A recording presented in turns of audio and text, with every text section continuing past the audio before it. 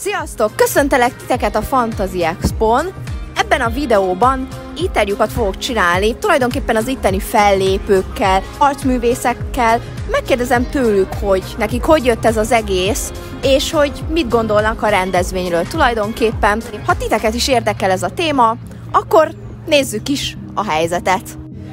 Sziasztok! Köszöntelek titeket a Fantasy Expo-n. Kikhez van szerencsém?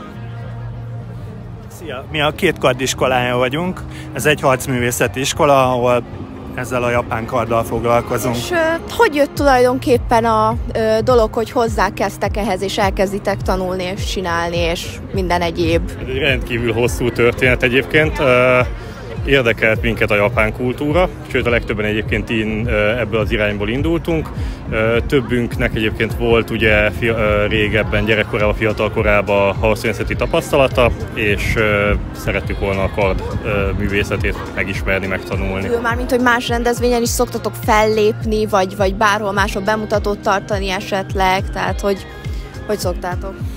Igen, városi rendezvényeken is részt szoktunk venni, de igazából szoktunk járni iskolákba például testnevelés órát tartani, de például más ilyen nagyobb rendezvényeken is uh, ott szoktunk lenni, tehát uh, vegyes, próbálunk minél több embert megszólítani. És hogy szokott zajlani egyébként egy ilyen bemutató például, amit most itt fogtok csinálni? Ez így, hogy megy, mit szoktatok csinálni?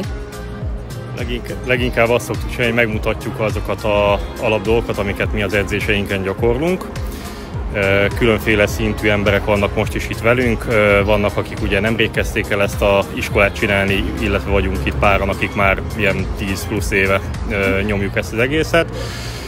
Adunk egy kis ízelítőt abból, hogy mivel is foglalkozunk, és ha esetleg valakit érdekel, vagy megfogta őt ez a dolog a bemutató alapján, akkor pedig várjuk szeretettel az edzéseinken. És uh, volt már olyan előfordult egyébként, hogy így a, a bemutatótokba történt valami kis uh, viccesebb dolog, vagy belezavart valaki, vagy valami nem úgy zajlott, ahogy ti szerettétek volna, vagy ti pont ezt megúsztátok még?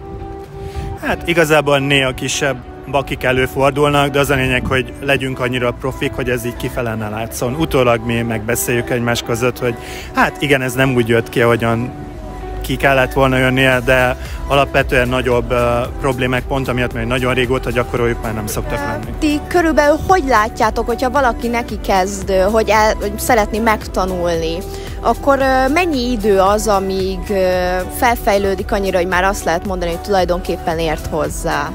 Ez igazából az adott embertől függ, tehát mivel harcművészetről beszélünk, itt mondjuk a gyakorlásnak nagyon nagy szerepe van.